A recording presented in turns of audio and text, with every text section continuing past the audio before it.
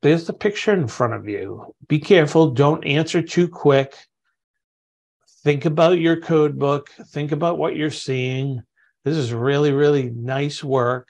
So don't worry about pass or fail. Just think about what type of venting it is. And it's really, actually, you know what? I'm not even going to say anything. I'm not going to say, I'm not saying nothing. I'm going to wait for you to say something. Hunter. Common venting at different levels. And your TYs are supposed to be max 10 inches apart. How many of you would agree with Hunter's comment?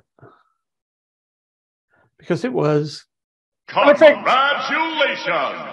That was a perfect answer, Hunter. Thank you very much. I can't wait till someday you can teach some of these classes, but you got to get some experience and stuff. We're going to get you out in the field for a few 10, 15 years. Yeah.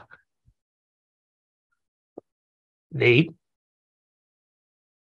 What is that fitting that is like that? Uh, it looks like a TY, but it's going 90 degrees down. I've never seen one of those in my life. That is an inverted sanitary tee for venting. And is that galvanized pipe it's connecting to? It is.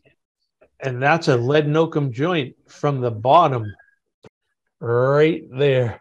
Ever tried to pour an upside down um, lead oakum joint? You all know what joint runners are, right? Nice joint runner, all oiled up, nice, not a dry one. You actually soaked it in oil because if you didn't know, you buy those joint runners at the supply house for any of you who know even what lead is at this point. You got to soak that up with oil, or there's no way you're pouring that joint if that joint runner has not been soaked in a five gallon bucket of motor oil that you like got sitting around your garage from doing an oil change on your car. That's craftsmanship right there. It really, really is.